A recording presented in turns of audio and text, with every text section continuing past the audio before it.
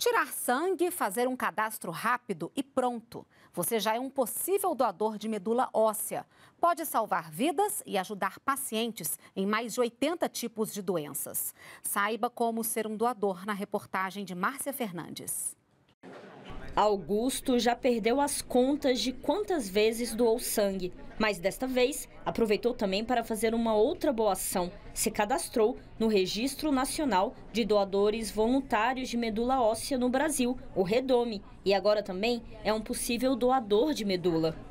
A sensação de que você está ajudando uma pessoa que você nem conhece, mas que você sabe que está estendendo o amor para muito longe. Para ser um doador de medula óssea, basta procurar o hemocentro da sua cidade. Aqui eles tiram um pouco de sangue e já fazem o cadastro no Redome. Quando a plataforma identifica compatibilidade entre o doador e o paciente, é feito contato para começar os procedimentos de doação. Para se cadastrar, é preciso ter entre 18 e 35 anos, estar em bom estado de saúde e não ter doença infecciosa ou incapacitante. O Redome é o terceiro maior registro de doadores de medula do mundo, perde apenas para Estados Unidos e Alemanha. São mais de 5 milhões de brasileiros voluntários. O registro fica ativo até o possível doador completar 60 anos. É importante mantê-lo sempre atualizado. A maior dificuldade é não encontrar o doador. E para um paciente que vai realizar o transplante, o tempo é uma variável muito importante.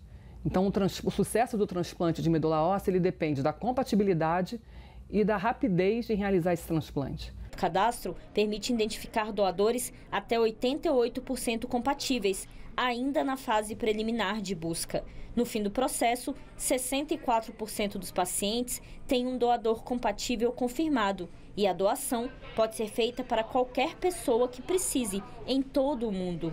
Essa pesquisa que é feita diariamente, se você se houver algum indício de compatibilidade da sua parte como doadora e com o paciente, você vai ser convocado para aprofundar esses exames, para de fato a gente poder confirmar o nível de compatibilidade entre paciente e doador. Heloíse fez o cadastro em 2011 e em 2019 foi chamada para doar. Foi uma experiência única na minha vida e muito gratificante. É emocionante o fato de você doar algo que salva uma vida.